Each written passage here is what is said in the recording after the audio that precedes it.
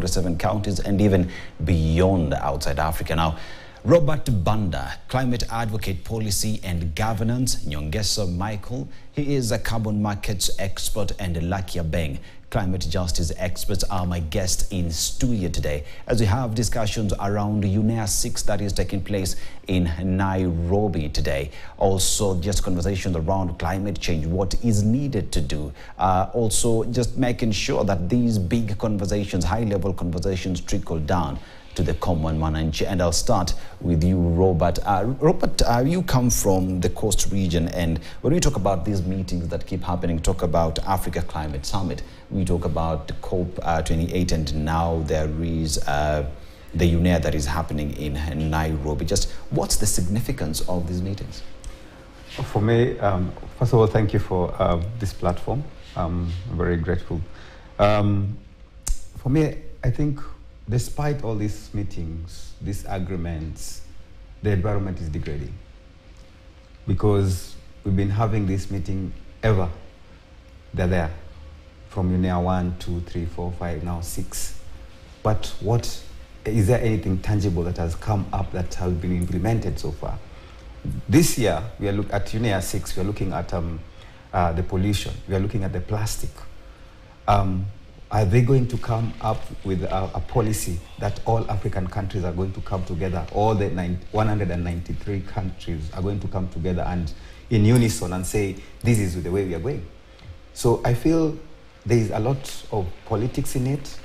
Uh, every country wants to have its own bit. And uh, it's a matter of time.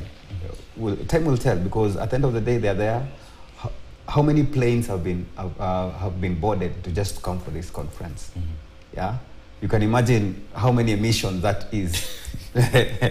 yeah, so I, I feel there's a lot that needs to be done, mm. and uh, it's a matter of time.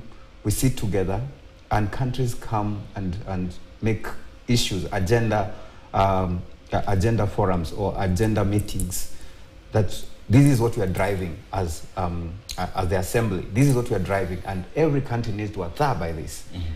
Because without that, then uh, what is the purpose of all this, the money that is being wasted? and I talked to Nyongesa now. He's mentioned something to do uh, to touch to touch on pollution and pollution is actually one of the big conversations at UNEA 6 as we speak at the moment because there is this entire conversation on just transition getting out of fossil fuels and going green as we have these discussions, it was the same conversation at Africa Climate Summit, same conversations at COP27 and all the other COPs, including COP28. It is the very same big conversations at UNEA 6. Therefore, what must we do for all these conversations, for all these agreements to finally start seeing actions on ground? Well, first of all, thank you so much for having me again. Twice in two days, it's really, it shows that uh, you guys really care about the environment and you really want to pass the information across the community so that they can really understand what environment and what is happening in their own country. UNEA, which is a, a, a global meeting, though hosted each after every two years in Kenya, means to the people of Kenya and even to the Africans and the globe. But there's a buzzword that has been introduced, has been there for some time, but um, that has been introduced. It's called the triple planetary threats. Mm-hmm. That is the, the, issues to do with pollution, biodiversity, and climate change, the interlinkage. Mm-hmm. And uh, you cannot, one affects the other. Because when the climate changes, it affects, it, the cause may be some source of, of pollution. Pollution affects climate change. Climate change, in the end results, affects biodiversity. And it's very key to see that United Nations Environmental Assembly, the sixth, the sixth session, is really prioritizing issues of pollution. Because uh, we cannot overemphasize enough how Kenya, we, we, especially Nairobi, we've been unable to deal with uh, the cleaning of our Nairobi river you you step at, out the Kenya banned plastic, but you go to you go today to buy vegetables, eh, especially from the informal settlements. You'll be wrapped in a plastic bag. So I know I know when we say this, the government, especially National Environment Management Authority, try to tighten the belts, but we still have porous borders. So what I'll say, I am glad to see an environmental assembly that is the highest decision-making organ. 193 members coming together to unite and say, let's talk about this. If, even if it's a song, Remember, we used to sing about people just for celebrating the issues of loss and damage decision when we achieved it at COP28. But th- what they don't know is that this issue, people have been singing it from COP, like COP 17 uh, in in, uh, in Durban all through. People have been talking about loss and damage, loss and damage, loss and damage. So let's continue talking about pollution. One time we'll have a crack at it. One day we'll get it right. Now, Loki, Yes. you are from Nigeria. Nigeria is a big country when it comes to oil production. As we talk about uh, energy transition now, that affects Nigeria and its economy. Now, when we're talking about just transition and stopping uh, the drilling and going green, how is this conversation settling down with uh, oil producers in Nigeria with regard to when you're telling us to drill, to stop drilling? What is the solution? What are we getting back in return?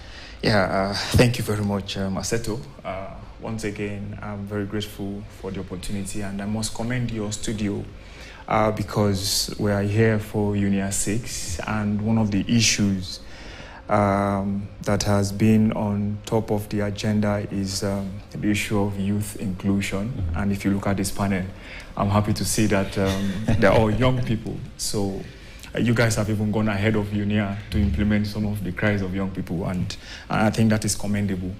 Yes, just like you've mentioned, Nigeria, uh, we're very heavy, and we're Nigeria is part of the um, Organization of Petroleum Exporting Countries, OPEC. Uh, we do have um, in 2022, just a few months before COP27 in Sharm el Sheikh, we launched our energy transition plan. And um, if you look at the entire document of the Nigerian Energy Transition Plan, we will be needing um, roughly around $400 billion to transition um, up to 20, 2060. But um, the government of Nigeria have said that uh, we are going to rely on our huge uh, fossil fuel that we have uh, using gas as a transition fuel um, for our green uh, um, agenda that we have. So the, the conversation around just transition, Nigeria is, is, is part of it. It's not like uh, we are rebelling against that, but we are saying that uh, we have to transition at our own pace. That is one point the government of Nigeria is putting. And we currently, um, I must commend the government of Nigeria, currently putting effort, frameworks in place that would support that transition. Uh, we are yet to operationalize our energy transition plan. You still need to do some validation and then bringing in the voices of civil society into it. Uh, but there are challenges. Uh, we must say there are, there are challenges. Challenges of um, finance, finance to transition uh, from what we have in the transition plan. We would need $10 billion annually to transition. Where that money is going to come from, heavily from the private sector. And it is high time we start look at how to bring in the private sector into these conversations. And just before UNEA, um, I'm aware the government of Nigeria had convened um, a private sector stakeholders meeting to bring in the private sector into some of this conversation, including their role in um, exploring the options that we have in Article 6.2, 6.4 that we have um, in the Paris Agreement. And I think um, um, we're doing good, but let's see what UNEA would, would come up with, and then we run with that. Thank you. I like that. Now, Robert, now uh, let's talk about the position of Africa in all these conversation. For a very long time, you find uh, the conversation out there is Africa has the resources that the global uh, north has used for a very long time to grow their economies. The same resources that we have, we are being told not to explore. Therefore, what conversations should people have honestly on the table for us to say UNEA 6 is addressing this with us, with those that drilled before, uh, uh, also giving concessions on how to move forward? Uh, I think Africa needs to come um, to come together. They leverage on what they have. um, uh, African countries need to have one voice, and uh, African countries need to work together in terms of um, uh, whatever decision that is being made. They need to come together as a, as, a, as, a, as a continent and move with what they feel is right for them. rightful for them. Why am I saying this? Um, we are not leveraging on what we have because every African country wants to do something on, on, on their own. And uh, they fear probably in uh, the economic aspect of it that they are going to lose this or the other country is going to gain on this. I wish that is not there because we don't, we don't want to leave any African country behind. We need all these African countries to have one voice so that they can push and pressure such conferences that are going on or, or the, uh, the assembly that is going on so that they can be heard. But if African countries cannot come together and leverage on what they have, the resources they have, and bring everything together, the negotiators who are there needs to come together and whatever ideas are there, they need to have an agreement so that when they when, when they table it, it can be it, it has everybody in it. And I think that is the biggest uh, thing that African countries are not having, and that is why we're having all these issues.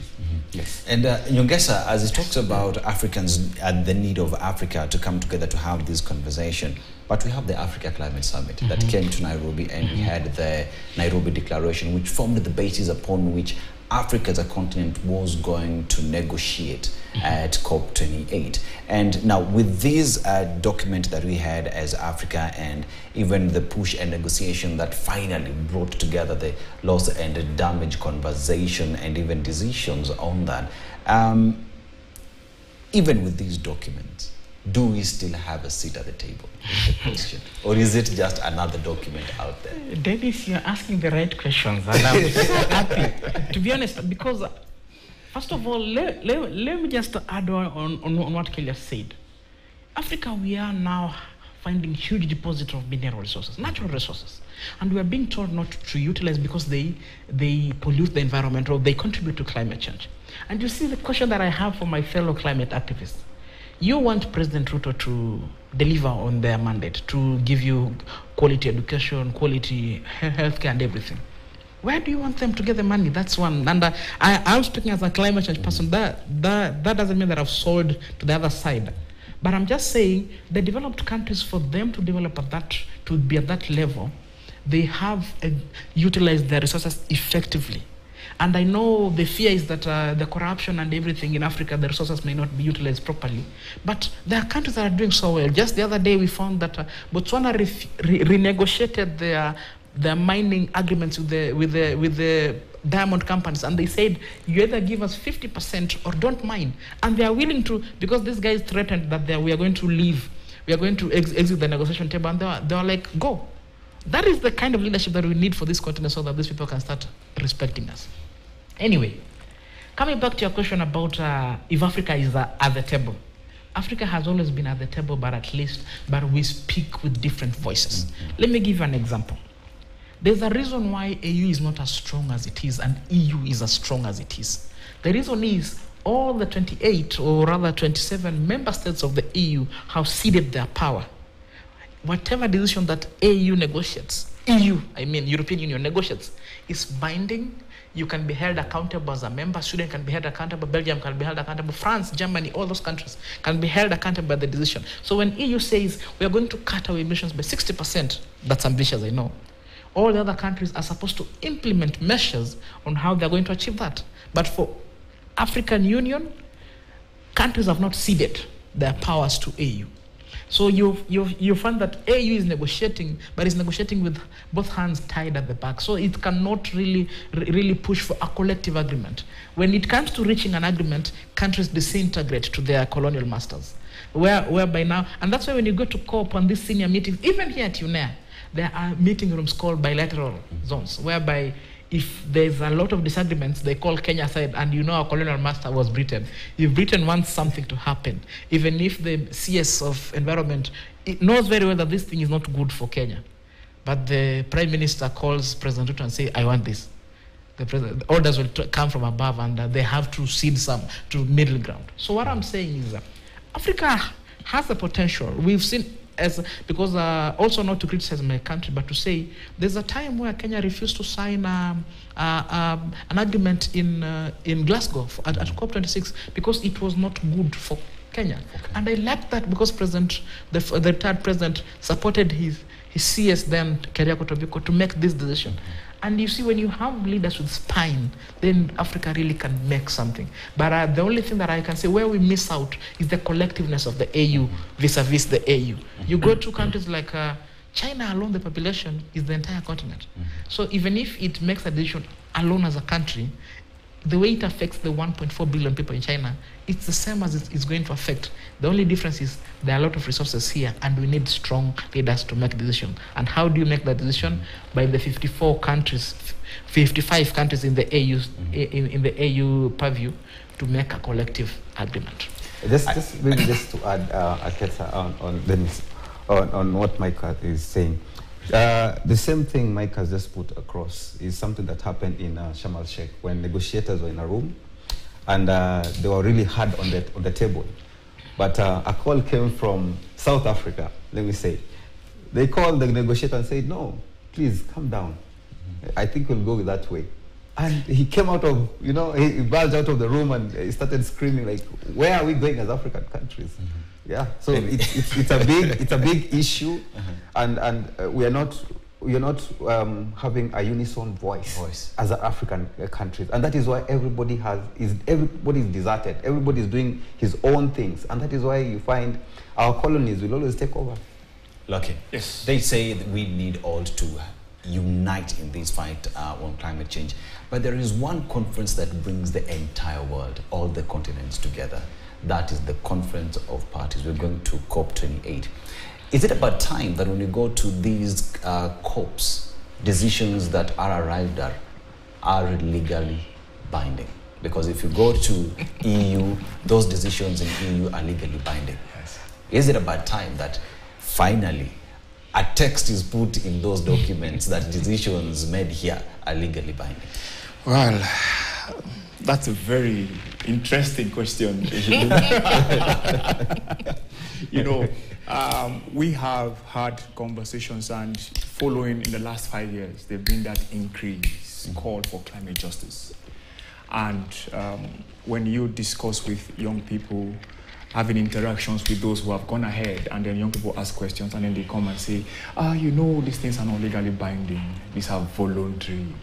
You know, countries are not uh, under any obligation. But I, I think to, to, to take us back a bit, Africa has really been, been, been doing good. The loss and damage was, we are celebrating today started from COP27 in Sharm el Sheikh. It was pushed by Africans. Um, the, the essence of climate action, you can see, is being driven by Africa, even though we emit probably less than 5%. Uh, but to the question if it is time, uh, it's long overdue. But of course, they will bring you back to tell you that there's a process to go through. and that is where you have. And, and I'm happy because for, for UNEA, what is very strong on the table is the issue of ensuring that multilateral diplomacy delivers. Um, we've had five um, sessions, and this is the sixth session. Over 90 resolutions have been passed since the first UNEA up to this point. But because of that lack of legal binding status, so you just pass resolutions, and when you come back to do an M&E of how these resolutions and decisions are fair, you would hardly find any impact. It is time, but I think this is where we now need to. I don't know if it is right time for Africa to push that um, that it becomes legally binding, but it's it's a conversation that I think we can no longer shy away mm-hmm. from. Mm-hmm. We can't shy away from it, and I think the necessary process and the necessary bodies would be able to do that. But this is where civil society as well come come to mm. play, because most of the times the conversation of civil society and their impact calling out these issues as they are and not using uh, diplomatic words to paint them. Uh, they need more support and more access to this decision making body to see that we ensure that somehow we find a way to get uh, the UN Court, uh, International Court of Justice, and whatever court you have to make these um, uh, conversations Can I- legally binding. Can, can I just Well, let's let's take this short commercial break. When we come back, we continue the conversation. I'll come back to you to add on what Loki was saying. But now let's take a short commercial.